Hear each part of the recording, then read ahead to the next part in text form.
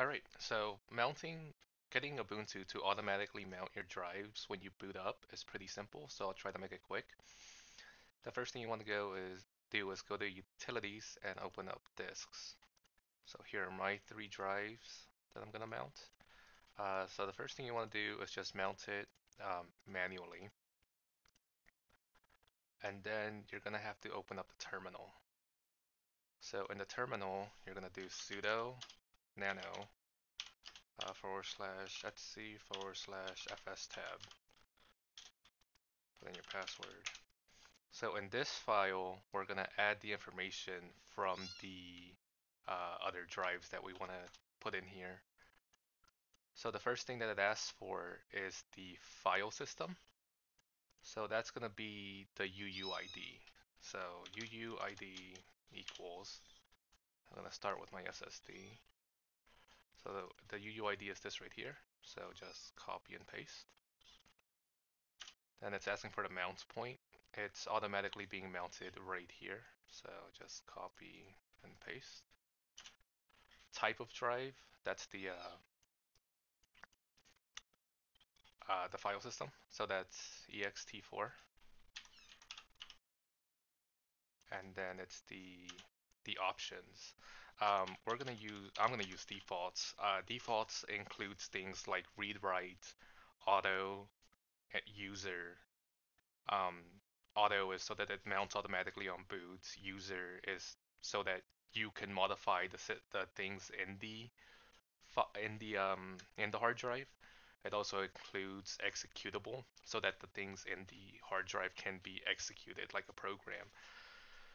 Um, if you don't want, you can make it so that it, it's only read.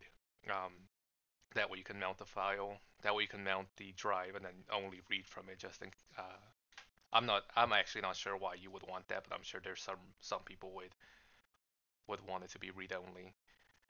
Okay, so it's the options. Dump is for in what order it gets backed up at in.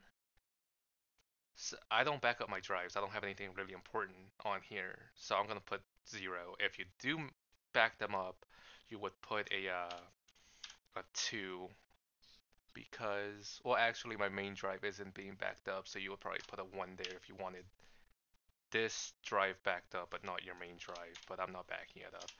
And then pass. And that's for uh, the file system check on boot. Um, so it does check your your main drive automatically. Um, I, I'm gonna go ahead and check, uh, do the file system check on boot for this drive as well.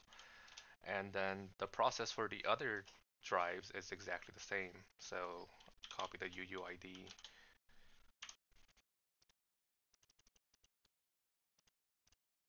Copy and paste that. Where is it mounted?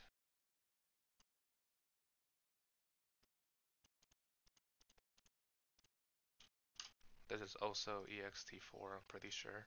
Um, if you have an a NSTF drive, putting auto right here will let it mount.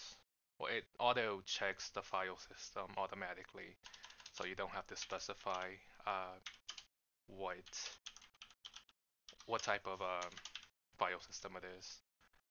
And then the last one right here. Uh, I'm gonna go ahead and stop right now. Um, so after you add everything to that um, to that file, you'll just Control X to exit and save it.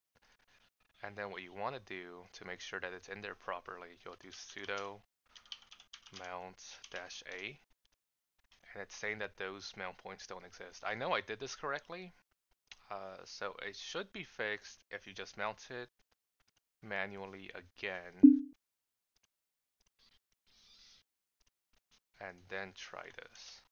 Yeah, okay, so that that time it didn't give an error, so now it'll work. And then from here, you'll just reboot and then um, and then they'll show up automatically. They'll show up down here if you haven't changed your settings, but I don't like that the drives are showing up down here, so I hid them. But as long as sudo mount dash a does not give you an error, and you can see right here that they are mounted, then uh, then you're good to go. Yeah. All right. That's it. Thank you.